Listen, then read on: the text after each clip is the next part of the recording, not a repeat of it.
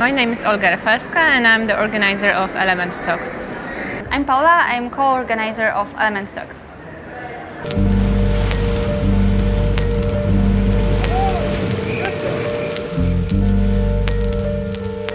In the beginning, it was our bachelor project. Uh, I make it with my friend Olga, and uh, we thought that um, we are very curious about designers' work because we started our internships, we started our first work with clients, and we thought that we don't have enough experience, we don't have enough knowledge about um, backstage of designers profession.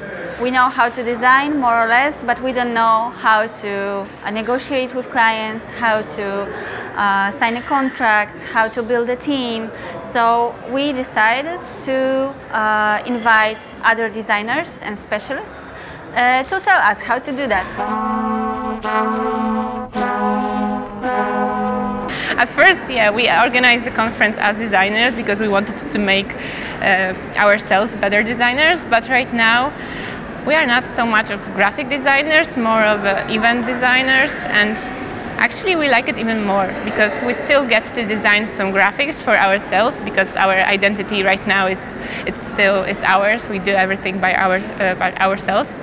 But right now we we somehow like design the event the experience of each attendee. We we really like the um, to think about how does the um, path of each attendee looks like look like. So we try to think about many things and for us it's design as well somehow so we still think that we are designers. We love that we can uh, meet with so many people at our conference, but we also feel like it's only two days during the year.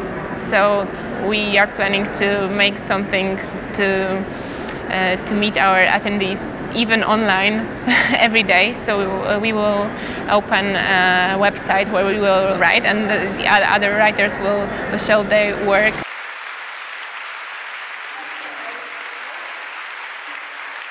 I think people uh, in design community are really, really open for other people. They want to help other designers. Uh, they want to help. Uh, they want to share their knowledge. So this is really cool to be part of it and to invite these people from around the world.